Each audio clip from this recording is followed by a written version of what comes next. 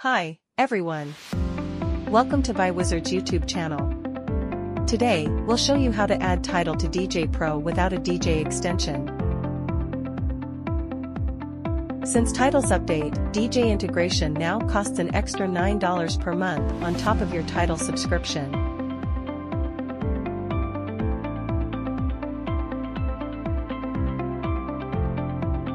If you already have the extension, just open djay Pro, go to the Library tab, click the Tidal icon, and log in. You'll get access to curated playlists or your own Tidal collection.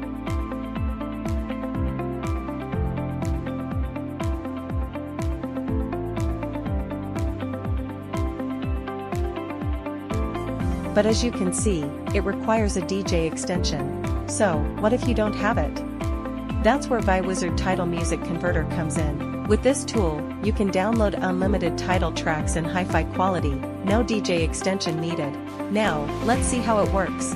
First, open ViWizard Tidal Music Converter and log into your Tidal account through the built-in web player.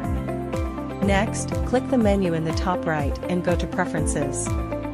Here, you can customize your settings, choose the audio format, adjust the sound quality, and set the output folder for your downloads.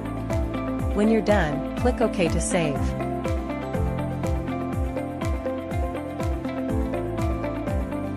Now, find the song, album, or playlist you want to download.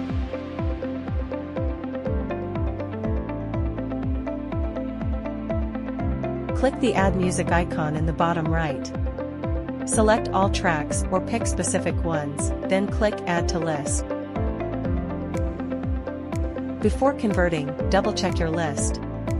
If everything looks good, hit Convert, and ViWizard will start downloading and converting your Tidal music. Once it's done, you can preview the songs in ViWizard or find them in your output folder.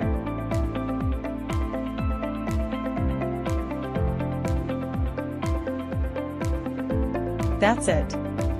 Now you're ready to use your Tidal music in djay Pro, without a DJ extension. Now, open djay Pro and go to the Explorer tab on the left. Click Add Folder. Find the folder where you saved your converted Tidal music, and import it.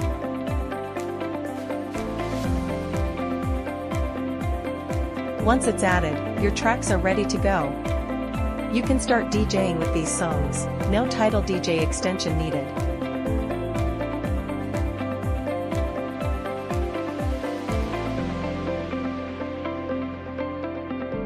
If you find this video helpful, don't forget to like, subscribe, and comment.